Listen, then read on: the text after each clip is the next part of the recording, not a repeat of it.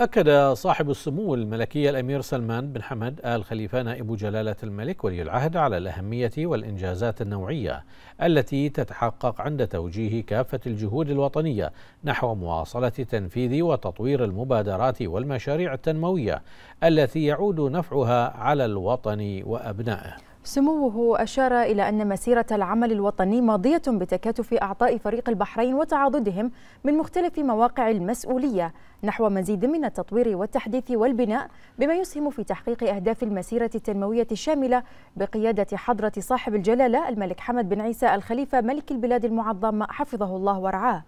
وقال سموه إن العمل التكاملي والتنسيق المشترك بين السلطتين التنفيذية والتشريعية والشراكة الفاعلة مع القطاع الخاص تقود إلى تحقيق مزيد من الإنجاز والتميز في مسيرة البناء والتنمية مجددا سموه الفخر والاعتزاز بالكوادر الوطنية المخلصة وما يمتلكونه من شغف للتميز والإنجاز وحصد النجاحات لبناء حاضر ومستقبل أفضل للجميع.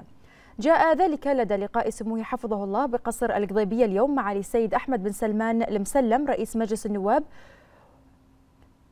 ونواب رئيسي مجلس الشورى والنواب ورؤساء اللجان بمجلسي الشورى والنواب بحضور معالي الشيخ خالد بن عبد الله الخليفة نائب رئيس مجلس الوزراء والفريق أول معالي الشيخ راشد بن عبد الله الخليفة وزير الداخلية وعدد من أصحاب السعادة الوزراء وسعادة السيد سمير عبد الله ناس رئيس غرفة تجارة وصناعة البحرين.